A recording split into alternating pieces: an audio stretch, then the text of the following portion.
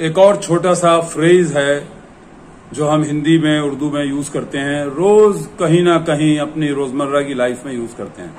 बस यूँ ही, ऐसे ही, ये हम तब कहते हैं जब हमारे पास बताने के लिए कोई कारण, कोई वजह, कोई रीजन नहीं होती है कि हम ऐसा क्यों कर रहे हैं।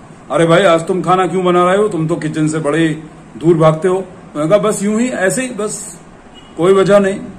बस मस्ती के लिए, ऐसे ही आज किचन में आके खड़ा हो गया। मैं किसी से कहूँ, अरे भाई, तुम चश्मा क्यों लगाए हुए हो? तुम्हारी तो नज़र यार तेज है।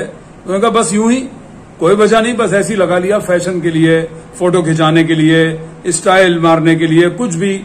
तो मतलब उसका कोई आपके पास बहुत अच्छा रीजन ये बताने के लिए नहीं है कि आपने ये काम क्यों किया।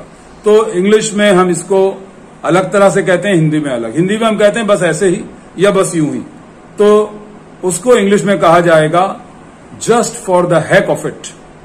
Just for the heck of it बस इतना कहा जाएगा। ये आपका एक रिएक्शन होगा जब आपसे कोई पूछेगा कि तुमने ऐसा क्यों किया? आपने कहा just for the heck of it मतलब कोई विशेष कारण, कोई खास वजह नहीं। बस तफरी में, मस्ती में मैंने ऐसा कर लिया।